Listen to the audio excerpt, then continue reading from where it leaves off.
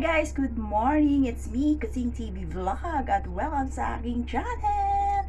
Okay, so good morning po sa inyong lahat at um, for today's video guys, ayan, so gagawa po ako ngayon or magluluto ako ng soup. Chinese soup po yan. Ayan, so malamig-lamig ang panahon dito ngayon sa Hong Kong. So, kailangan natin ng mainit-init na sabaw na hihigupin para sa malamig na panahon. Okay, so uh, maya maya lulutuin ko lang guys. Prepare ko yung mga kailangan natin sa pagluluto ng soup. So sa mga bago sa aking channel ayan. So subscribe na kay Kuting TV Vlog. Mag like and comment and share. At don't forget to click the notification bell para po updated po kayo sa mga upcoming videos ni Kuting. Okay guys. Tara na. Intro pasok bounds.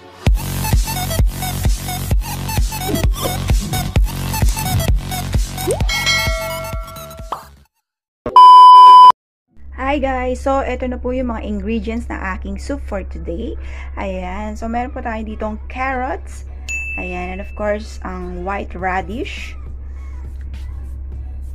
Pork bones. Sweet dates. At saka small and big almonds. Ayan. So, nahugasan ko na po guys yan. Ayan, nahiwa ko na rin. Na-prepare ko na siya kanina. Ayan. So, gagawin na lang natin is lulutuin. Two seconds later.